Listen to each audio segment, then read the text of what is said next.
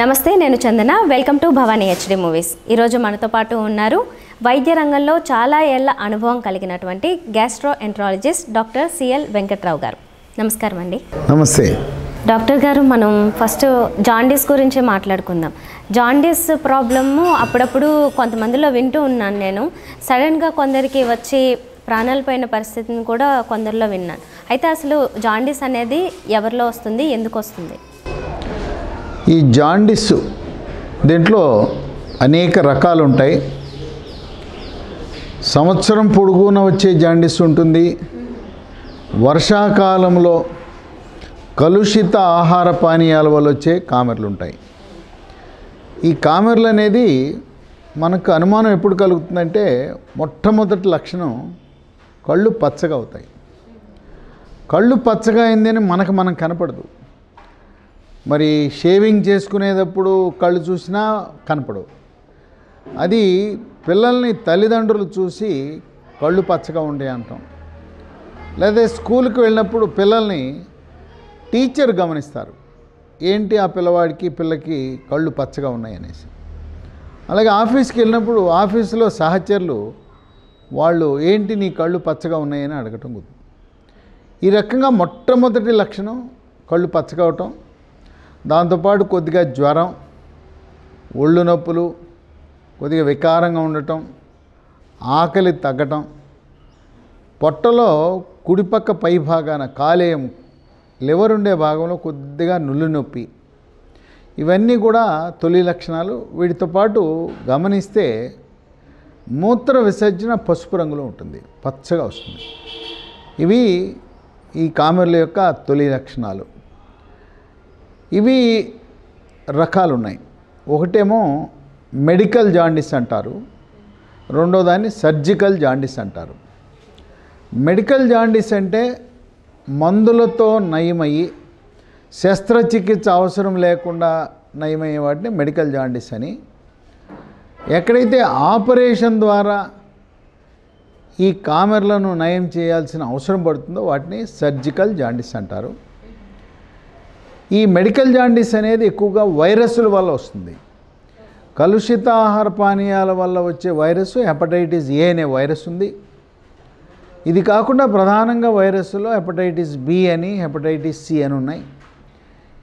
ఈ hepatitis BC ముక్కు కుట్టినప్పుడు వాడే సూదులకు కానీ చెవులకి రింగులు పోగులు పెట్టుకునడానికి చెవులు కుట్టినప్పుడు వాడిన సూదులు కానీ లేదా పచ్చబొట్లు వేయటానికి వాడిన సూదులు. అవే సూదులు పదే పదే వాడటం వల్ల హెపటైటిస్ బి సి వ్యాధి వ్యాప్తి చెందుతుంది. గతంలో రక్తం ఎక్కించినప్పుడు ఆ సరిగా పరీక్షలు జరపని కారణంగా హెపటైటిస్ బిసి వచ్చేది. ఇప్పుడు మనకు వాడి పారేసే సిరంజులు డిస్పోజబుల్ సిరంజులు వచ్చినాయి. ఒక ఇరవై ఏళ్ళ క్రితం గాజు సిరంజులు సూదిని నీళ్ళల్లో పెట్టి మరగబెట్టేవారు. గ్లాసు సిరంజిలు వాడేవారు. ఇప్పుడు ప్లాస్టిక్ డిస్పోజబుల్ సిరంజిలు వచ్చినాయి. ఆ రోజుల్లో గ్లాస్ సిరంజిలు వాడే సమయంలో ఆ సిరంజిలు ఆ సూదుల ద్వారా కూడా హెపటైటిస్ బి సి వ్యాప్తి చెందేది. అలాగే తల్లికి హెపటైటిస్ బి ఉంటే సి ఉంటే గర్భంలో ఉన్న పసికందుకు కూడా బొడ్డు తాటు ద్వారా అది పాకే అవకాశం ఉంది. ఇదే కాకుండా పుట్టిన పసికందుకి సహజ సిద్ధంగా కూడా కామెడ్లు వస్తాయి. దానికి మనం ఒక లైట్ వేస్తారు. ఫోటోథెరపీ అంటారు. లేదు ఎండలో పడుకోబెడతారు కాసేపు. అది ఒక వారం రోజుల్లోనే తగ్గిపోతుంది. అదేమీ జబ్బు కాదు. కొంతమందికి పిల్లలకి పుట్టగానే పుట్టు కామెర్లు అంటారు. దానికి ఏమి కంగారు పడవలసిన అవసరం ఏమాత్రం లేదు. ఇక సర్జికల్ జాండీస్ అనేది పిత్తకోశంలో రాళ్ళు. మనం కోడిని కోసినప్పుడు కోడి కార్జ్యం కింద భాగంలో చేదు తిత్తి చేదు బుడ్డ అని ఉంటుంది. అక్కడ ఆ కోడిని కోసినప్పుడు చేదు తిత్తి చేదు బుడ్డ తీసి బయట వేయిపోతే కూర అంతా కూడా చేదు అయిపోతుంది అలాగే మనకు మనిషి కాలేయం కింద భాగంలో చేదు తిత్తి చేదు బుడ్డ అనేది ఒక తిత్తి ఉంటుంది. దాంట్లో రాళ్ళు ఏర్పడినప్పుడు కా కామెలు రావచ్చు. లేదు కొన్ని క్యాన్సర్లు. క్లోమము ప్యాంక్రియాస్లో క్యాన్సర్ కానీ లేదా లివర్లో క్యాన్సర్ కానీ జీర్ణాశయం క్యాన్సర్లో కానీ ఆ కామెర్లు రావచ్చు. కనుక రాళ్ళ వల్ల రావచ్చు క్యాన్సర్ల వల్ల రావచ్చు. కాలేయంలోనూ క్లోమగ్రంథి ప్యాంక్రియాస్లో చీమ్ పట్టినప్పుడు కూడా ఈ కామెర్లు రావచ్చు. ఇవన్నీ కూడా కేవలం ఆపరేషన్ ద్వారానే నయం చేయగలుగుతాం. ఇది అసలు కామెర్లని ఎలా నిర్ధారణ చేసుకోవాలంటే మూత్ర పరీక్ష చేసినప్పుడు మూత్రంలో బిలురూబిన్ అనే వర్ణ పదార్థం యూరోబిలినోజిన్ అనే వర్ణ పదార్థం రెండు సాధారణంగా ఎవరికి ఉండవు. అవి ఉన్నాయి అంటే కామెర్లు ఉన్నట్టుగా నిర్ధారణ చేస్తూ కేవలం మూత్ర పరీక్ష మీదే ఆధారపడకుండా లివర్ ఫంక్షన్ టెస్ట్ ఎల్ఎఫ్టి అనే రక్త పరీక్ష చేస్తే దాంట్లో కూడా సీరం బిలురూబిన్ అనే వర్ణ పదార్థం సాధారణంగా ఒక మిల్లీగ్రామ్ ఉంటుంది. అది పెరిగినప్పుడు కామెర్లు ఉన్నట్టుగా నిర్ధారణ చేస్తారు. మూత్ర పరీక్ష ద్వారా రక్త పరీక్ష ద్వారా కామెర్లను నిర్ధారణ చేసిన తర్వాత అది ఏ కోవకి చెందింది? మెడికల్ జాండిసా? సర్జికల్ జాండిసా? అనే దాన్ని నిర్ధారణ చేయటం కోసం పొట్టకి అల్ట్రాసౌండ్ స్కానింగ్ పరీక్ష చేస్తారు. అల్ట్రాసౌండ్ స్కానింగ్ పరీక్ష చేసినప్పుడు మెడికల్ జాండీస్లో నార్మల్ అంటే ఏమీ లేదు పొట్టంతా బాగానే ఉంది అని వస్తుంది. అదే సర్జికల్ జాండీస్ అయినప్పుడు రాళ్ళు క్యాన్సరు చీముగడ్డలు అవన్నీ బయటపడతాయి. ఆ రకంగా మెడికల్ జాండీస్ని సర్జికల్ జాండీస్ని గుర్తించిన తరువాత తగు చికిత్స చేస్తారు. మెడికల్ జాండీస్కి సాధారణంగా విటమిన్లతో పాటు రెస్టు కొవ్వు లేని పదార్థం కొంతకాలం మాంసాహారాన్ని దూరంగా ఉండటం అవి చేస్తే సరిపోతుంది. ఈ సర్జికల్ జాండీస్కి ఈ చేదు తిత్తి గాల్ బ్లాడర్ చేదు బుడ్డలో రాళ్ళు ఉంటే లాప్రోస్కోపీ శస్త్రచికిత్స అంటే కీ హోల్ సర్జరీ ద్వారా తొలగించవచ్చు. లివర్లో చీముంటే గతంలో ఆపరేషన్ చేయాల్సి వచ్చేది. ఇప్పుడు స్కానింగ్ పరికరాల ద్వారా ఇంజెక్షన్ చేసి సూది ద్వారా బయటికి తీసే అవకాశం ఉంది. క్యాన్సర్లు ఉంటే శస్త్రచికిత్స చేయాలి. ఈ కామెర్లకి నాటు వైద్యాలు చాలా ప్రాచుర్యంలో ఉన్నాయి. ఇప్పటికీ కూడా కొంతమంది అమాయకులు నాటు వైద్యాలకు వెళ్తున్నారు. హైదరాబాద్ నగరంలో చార్మినార్ ప్రాంతంలో కామెర్లు అనగానే కళ్ళల్లోకి ఆకుపసలు వేస్తున్నారు. ఈ కళ్ళల్లోకి ఆకుపసర్లు వేయటం వల్ల కంటి చూపు పోతుంది. అప్పుడు ఏమవుతుంది చార్మినార్ దగ్గర నాటు వైద్యం హైదరాబాద్ నగరంలో ప్రముఖ గవర్నమెంటు నేత్ర వైద్యశాల సరోజినీ దేవి కంటి వైద్యశాలకు వచ్చి కంటి చూపు పోయిందని చెప్పి గగ్గోలు పెట్టిన సంఘటనలు అనేక ఉన్నాయి. కనుక ఎవ్వరూ కూడా కంటిలో ఆకుపసలు కానీ ఏ రకమైన చుక్కలు కానీ కామెర్లకు వేయించుకోకూడదు. ఇదే కాకుండా అదే చార్మినార్ దగ్గర ఏవో పసర్లు అని చెప్పి నోట్లో వేస్తుంటారు. అవి కూడా ఏం పని చేయవు. ఏదో నాటు వైద్యాలు చేస్తుంటారు. ఇవే కాకుండా మణికట్టు మీద వాతలు పెడతారు. కాలుస్తారు మణికట్టు మీద.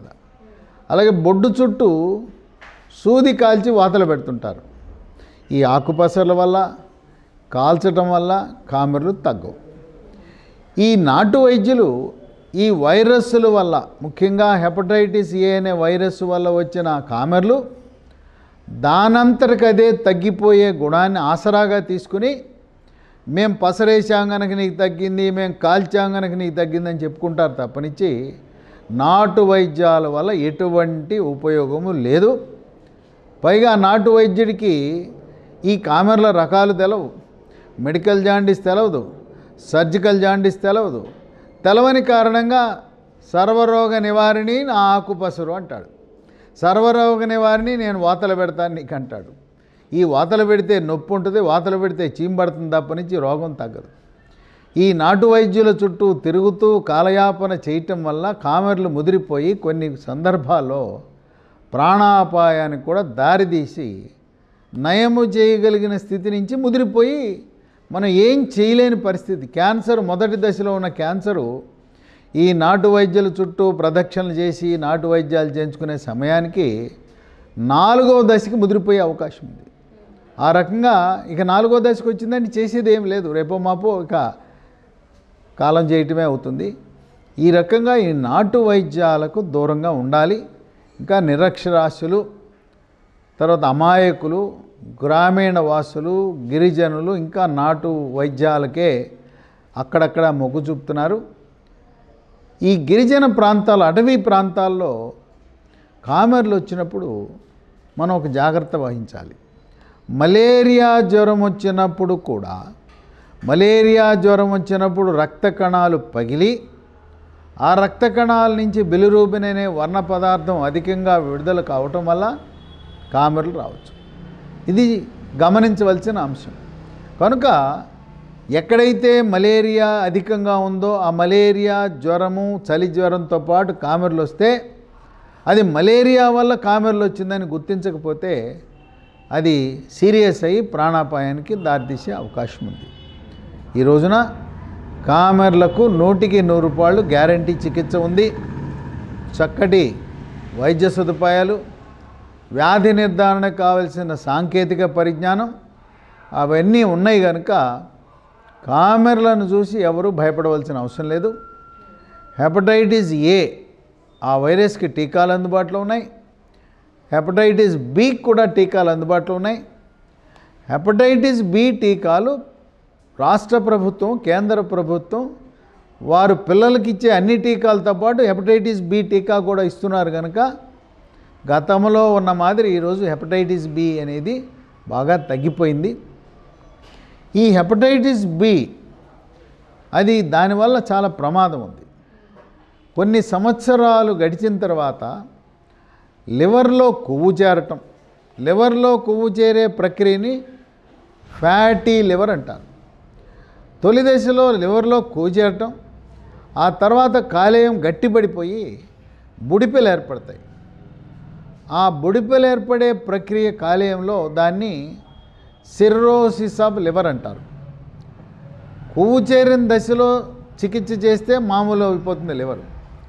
బుడిపెలు కట్టిన తర్వాత అది వెనక్కి రాదు.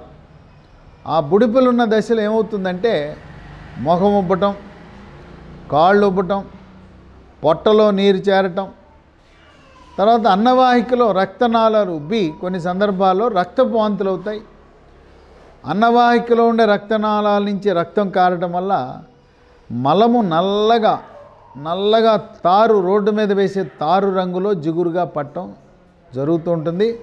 కొన్ని సందర్భాల్లో ఈ బుడిపెలు కాలేయం బుడిపెలుగా మారే ఆ జబ్బుని సిర్రోసిస్ ఆఫ్ లివర్ అంటారు. అది వచ్చిన వాళ్ళు కొంతమంది అపస్మారక స్థితిలో కూడా వెళ్ళిపోయి కోమాలో కూడా వెళ్ళే అవకాశం ఉంది. కోమాలోకి వెళ్తే మళ్ళీ వెనక్కి తిరిగి రాని ఆ, పరిస్థితి కూడా వెళ్ళిపోతారు. కనుక ఎవరికైతే సిర్రోసిస్ ఆఫ్ లివర్ వచ్చిందో ఈ బుడిపెలో ఒక బుడిపె క్యాన్సర్గా మారచ్చు. ఒక బుడిపె క్యాన్సర్గా మారితే ఎవరికైతే సిర్రోసిస్ ఆఫ్ లివర్ వచ్చి బుడిపె క్యాన్సర్గా మారిందో మనకు ఆశించిన ఫలితాలు రావు. ఎక్కువ కాలం లివర్ క్యాన్సర్కి ఎన్ని రకాల చికిత్సలు చేసినా ఆశించిన ఫలితాలు రావటం లేదు. చాలా తక్కువ కాలం మాత్రమే బతికి ఉంటారు. కనుక ఈరోజు కామెర్లు అనే దాని గురించి మనకు అవగాహన ఉండాలి. ఈ యొక్క వర్షాకాలంలో కలుషిత ఆహార పానీయాలు తీసుకోవటం వల్ల వస్తుంది కనుక వేడి వేడి ఆహార పదార్థాలు తీసుకోవాలి. నిలవ ఉన్న పదార్థాలు తినద్దు. ఏ రోజు ఆ రోజు? వండుకొని తాజాగా ఉండాలి. మనం వండుకున్న ఆహార పదార్థాల మీద కప్పి ఉంచాలి మూత వేసి ఉంచాలి. అలాగే మిఠాయి కొట్లు మిఠాయి షాపులో ఈగలు వాళ్తుంటాయి. ఈగలు వాలకుండా మిఠాయి షాపు ఈ స్వీట్ షాపు యజమానులు జాగ్రత్తలు పడాలి.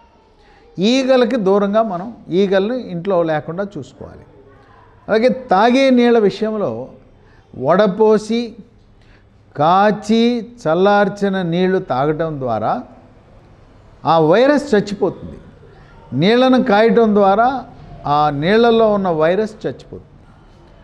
అలాగే పళ్ళ రసాలు. పళ్ళ రసాలు ఐస్ అవసరం లేదు. కొంతమంది పళ్ళ రసంలో ఐస్ వేసుకుంటారు. ఈ ఐస్లో కామెర్లకు సంబంధించిన వైరస్ ఉండొచ్చు. కామెర్లతో పాటు టైఫాయిడ్ క్రిములు కూడా ఉంటాయి. కనుక వీలైనంత వరకు పళ్ళ రసాలను ఐస్ లేకుండా తాగటం అనేది ఆరోగ్యానికి శ్రేష్టము. అలా తాగటం వల్ల కామెర్లు రావు. అలాగే టైఫాయిడ్ లాంటి విష జ్వరాలు కూడా రాకుండా ఉంటాయి. ఇక కామెర్లు వచ్చిన వాళ్ళు ఎటువంటి ఆహార నియమాలు పాటించాలనే చాలామందికి అనుమానం ఉంటుంది. ముందు బెడ్ రెస్ట్ తీసుకోవాలి. స్కూల్కి సెలవు పెట్టాలి. ఆఫీస్కి సెలవు పెట్టాలి. తర్వాత ఎక్కువగా పిండి పదార్థం కార్బోహైడ్రేట్ అధికంగా ఉండే ఆహారం తీసుకోవాలి.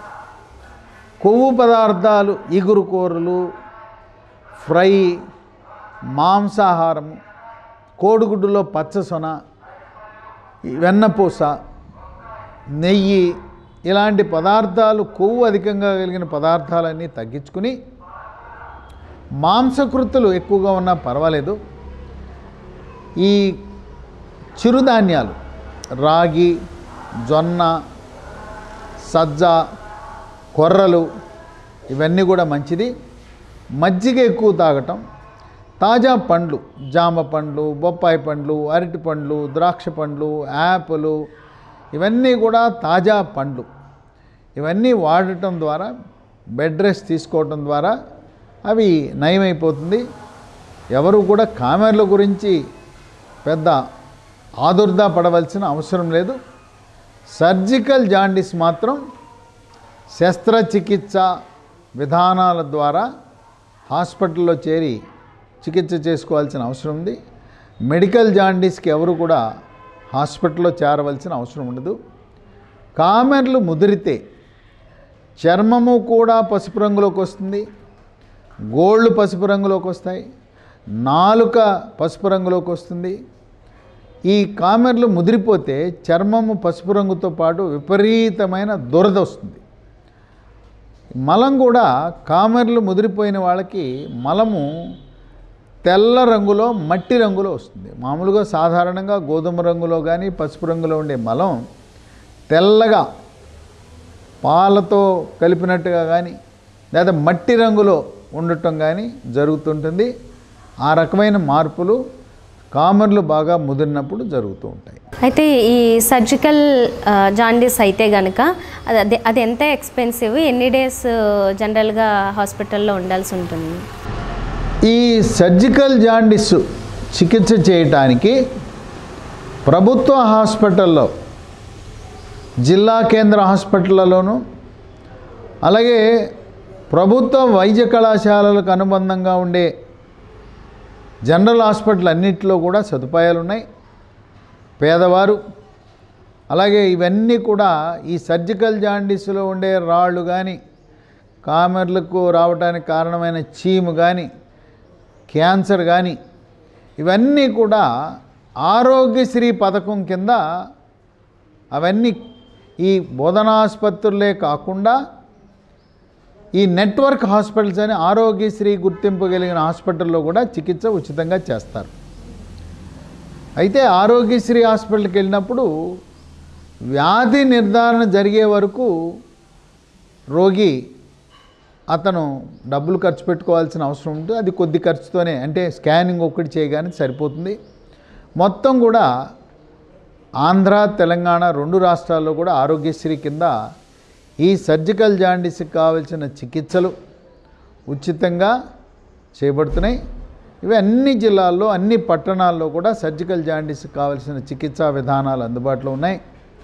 పిత్తకోశంలో రాళ్ళు గాల్ బ్లాడర్ రాళ్ళు తొలగించడానికి keyhole surgery laparoscopic surgery అన్ని చిన్న చిన్న పట్టణాల్లో కూడా అందుబాటులో ఉన్నాయి. అన్ని గవర్నమెంట్ హాస్పిటల్ ప్రైవేట్ హాస్పిటల్లో కూడా ఈ సదుపాయం ఇవాళ అందుబాటులో ఉంది. సార్ ఇప్పుడు గాల్ బ్లేడర్ స్టోన్స్ గురించి సబ్జెక్ట్ వచ్చింది కాబట్టి దాని మీద కొందరి అనుమానాలు ఏంటంటే గాల్ బ్లేడర్లో స్టోన్స్ వస్తే ఒకసారి గాల్ బ్లేడర్ని కూడా తొలగించాల్సి ఉంటుంది అని చెప్పి అన్నారని విన్నాము. అది కరెక్టేనా? అసలు మొట్టమొదటి ప్రశ్న కిడ్నీలో రాళ్ళుంటే మందులు వాడితే మందులకు పగులుతుంది. ఆయుర్వేదము హోమియోపతి ఇంగ్లీష్ మందులు అన్నిటికీ కూడా రాయి పగిలే గుణం ఉంటుంది. చిన్న సైజు రాయి. ఒక సెంటీమీటర్ కంటే తక్కువ సైజు ఉన్న రాయి కిడ్నీలో అయితే పగిలిపోయి మూత్రంలో వెళ్ళిపోతుంది. అది చూసిన తర్వాత గాల్ బ్లాడర్ చేతుతిత్తుల రాయి కూడా మందులు వేస్తే కరుగుతుందా? హోమియో చికిత్సకు తగ్గుతుందా? ఆయుర్వేదం కానీ అడుగుతారు. కాల్ బ్లాడర్లో చేదుతిత్తులో ఉన్న రాళ్ళు ఇంగ్లీష్ మందులకి కరగవు. ఆయుర్వేదానికి కరవు హోమియోపతి కరగవు యునాని కరగదు సిద్ధార్థ ఏ వైద్యానికి కరగదు. అయితే దానివల్ల వచ్చిన నొప్పి యాంటీబయాటిక్ మందులు నొప్పి తగ్గడానికి మ- మందులు వాడితే తాత్కాలిక ఉపశమనం కలుగుతుంది అంతే. దానికి చికిత్స గతంలో పొట్ట కోసి ఈ చేదు తిత్తిని ఇంతకుముందు జానెడు కోసి ఆ చేదు తిత్తిని చిన్న తిత్తిని తీసేవారు. ఇవాళ keyhole surgery laparoscopic surgery అందుబాటులోకి వచ్చాక చాలా సునాయాసంగా తిని- తీసేయగలుగుతున్నారు. అప్పుడు చాలామంది రోగులకు అనుమానం వస్తుంది. అయ్యా గాల్ బ్లాడర్లో రాయి ఉంటే రాయి తీయకుండా తిత్తి కూడా ఎందుకు తీస్తున్నారు? తిత్తి తీయాల్సిన అవసరం ఉందా? మొదటి ప్రశ్న ఇది. ఈ రాయితో పాటు తిత్తి కంపల్సరీ తీయాలి. అదే కరెక్ట్ విధానము. కేవలం రాయి మాత్రమే తొలగించడం అనేది వైద్య శాస్త్రం అంగీకరించదు. శాస్త్రీయత లేదు. అలా ఓ రాయి తొలగించడం అనేది అనైతికం. ఏమండి? రాయి ఉంటే రాయి తీయకుండా తిత్తి ఎందుకు తీస్తున్నామని అడగచ్చు. ఆ తిత్తి అలా వదిలిపెడితే ఆ తిత్తిలో ఉన్న సూక్ష్మక్రిములు పదే పదే నొప్పొచ్చేదటి చేయటం గాల్ బ్లాడర్లో చీము పట్టడం జరుగుతుంది. అదే కాకుండా రాయి ఉన్న చేదు తిత్తిని అలా వదిలేస్తే భవిష్యత్తులో క్యాన్సర్ వచ్చే గుణం ఉంటుంది. అందుకే రాయి మాత్రమే తొలగించకూడదు రాయితో పాటు తిత్తిని కూడా తొలగించాలి. అప్పుడు అడుగుతారు మరి ఆ తిత్తి తీసేస్తే మాకేమన్నా అరుగుదలకేమన్నా ఇబ్బందా? ఒక అవయవం చిన్న అవయవం తొలగిచ్చేస్తే మాకేమన్నా అసలు పైచరసం ఉత్పత్తే ఆగిపోతుందా అని అనుమానం ఉంటుంది. పైత్యరసము చేదు తిత్తులో ఉత్పత్తి కాదు. పైత్యరసం అనేది కాలేయము లివర్లో ఉత్పత్తి అవుతుంది.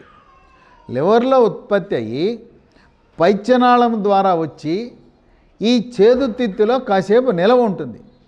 మనం ఆహారం ముఖ్యంగా కొవ్వు పదార్థంతో కూడిన ఆహారం తీసుకున్నప్పుడు ఈ చేదు తిత్తి చిన్న కెపాసిటీ ఎంత? ఒక యాభై నుంచి హండ్రెడ్ ఎంఎల్ ఉంటుంది. అది దాంట్లో ఉన్న ఈ పైత్యరసం వెళ్ళి ఈ కొవ్వు పదార్థము కలిగిన ఆహారంతో కలిసి కొవ్వు జీర్ణానికి సహాయపడుతుంది ఉపయోగపడుతుంది. మరి అది తీసేయటం వల్ల ఏంటి నష్టం అంటే ఒక చిన్న ఉదాహరణ చెప్తాను మనం ఇంటి మీద అపార్ట్మెంటో లేకపోతే ఇంటి మీద చిన్న ఓవర్ హెడ్ ట్యాంక్ పెట్టుకుంటాం. మనకు ఓవర్ హెడ్ ట్యాంక్ నుంచి నీళ్ళు రావు. ఎక్కడి నుంచి వస్తాయి? మనకున్న బోర్ నుంచో నీళ్ళు వస్తాయి. లేదా మనకు నూతి బావి నుంచి వస్తాయి. లేదా మున్సిపాలిటీ వాళ్ళు పంచాయతీ వాళ్ళు ఇచ్చిన ఆ నీళ్ళ నుంచి మనకు నీళ్ళు సరఫరా అవుతాయి కానీ ఒక సింటెక్స్ ట్యాంకు మనం ఇంటి మీద పెట్టుకున్నా పెట్టుకోకపోయినా మనకు పని జరుగుతుంది. అలాగే మన ఇంటి మీద ఉన్న చిన్న సింటెక్స్ ట్యాంక్తో సమానం. డైరెక్ట్గా మనకు సరఫరా మున్సిపాలిటీ చేస్తుంది పంచాయతీ చేస్తుంది బోరు చేస్తుంది బావి చేస్తుంది కానీ ఈ సింటెక్స్ ట్యాంక్స్ ఉన్నా లేకపోయినా ఏం పర్వాలేదు. మన సదుపాయం కోసం ఎప్పుడన్నా నీళ్ళు రాని సమయము ఇరవై నాలుగు గంటలు నీళ్ళు రావు కనుక టెంపరీగా ఒక సింటెక్స్ ట్యాంక్ పెట్టుకోండి ఇది కూడా అంతే. తాత్కాలికంగా ఒక హండ్రెడ్ ఎంఎల్ యాభై ఎంఎల్ నిల్వ ఉంచుకోవడానికి పెట్టుకున్న చాలా చిన్న స్టోరేజ్ రిజర్వాయర్. కనుక ఈ ల్యాప్రోస్కోపీ ద్వారా కీహోల్ సర్జరీ ద్వారా రాయితో పాటు చేతిని తొలగించిన ఎటువంటి ఇబ్బంది ఉండదు. జీర్ణ ప్రక్రియకి ఎటువంటి సమస్య ఉండదు. ఇది ఎటువంటి కాంప్లికేషన్స్ లేని ఆపరేషన్ వాళ్ళ. Hundred percent guarantee. మరి అది నేను చేయించుకోకపోతే ఏమైపోద్ది? రాయి అసలు ఎందుకు తీసుకోవాలంటాడు. ఆ రాయి వల్ల నొప్పి వస్తుంది పొట్టలో కుడి భాగమైన తీవ్రంగా నొప్పి వస్తుంది దీనివల్ల ప్యాంక్రియాస్ క్లోమ గ్రంథిలో చీమ్ బట్టి పొట్టలో భరించరానంత నొప్పి వస్తుంది. అదే కాకుండా ఈ గాల్ బ్లాడర్ చేతిలో రాయి ఉండటం వల్ల కామెర్లు వస్తాయి. ఇంకా కొన్ని రా కొన్ని సంవత్సరాలకి ఆ రాయి గాల్ బ్లాడర్ మీద రాపిడికి ఒరిపిడికి క్యాన్సర్ వస్తుంది. ఇన్ని అనర్థాలు వచ్చి ఆ రాయి ఒకసారి రాయి లోపల ఏర్పడిన తర్వాత ఆ చేదు తిత్తి కెపాసిటీ తగ్గిపోతుంది. యాభై ఎంఎల్ ఉండాల్సింది ఐదు ఎంఎల్ అసలు కొన్ని కొన్ని సందర్భాల్లో దానికి దాంట్లో పైచిరసమే వెళ్ళదు. మూసుకుపోతుంది. రాయి ఉండటం వల్ల మూసుకుపోయి ఏదైతే టెంపరీ స్టోరేజ్కి నిల్వ ఉంచడానికి పైచిరసాన్ని ఉపయోగం ఉందో అది లేకుండా పోతుంది. కనుక రాయిని తిత్తితో పాటు తీయాలి. ఎటువంటి జీర్ణ ప్రక్రియకు ఎటువంటి ఆటంకం కలగదు. సో ఈ స్టోన్స్ అనేవి ఒక్కొక్కరిలో ఒక్కోలా ఫామ్ అవుతూ ఉంటాయి కదా. మిల్లీమీటర్స్ నుంచి సెంటీమీటర్ స్టేజ్కి వెళ్తాయి. ఎంత ఉంటే అసలు డేంజర్ జోన్లో ఉన్నట్లు? పిత్తాశయంలో పెద్ద రాయి ఉంటే అది పైత్యనాళంలోకి జారదు. చిన్న రాయి కానీ లేదా రాయి రూపాన్ని కాకుండా పాకుడు రూపాన పాకుడిని స్లడ్జ్ అంటారు. లేదా పొడి రూపాన్ని కానీ ఉంటే అది పైత్యనాళంలోకి జారి కామెరలు వచ్చే గుణం ఎక్కువ ఉంటుంది. కనుక గాల్ బ్లాడర్ చేతిలో రాయి పెద్దదిగా ఉంటే అనర్థాలు తక్కువ.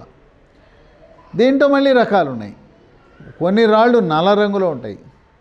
కొన్ని రాళ్ళు పసుపు రంగులో ఉంటాయి. నల్ల రంగు రాళ్ళు ఎందుకు వస్తాయంటే గతంలో ఎప్పుడైనా టైఫాయిడ్ జ్వరం వస్తే ఆ టైఫాయిడ్ క్రిముల ద్వారా నల్లగా ఉండే రాళ్ళు ఏర్పడతాయి.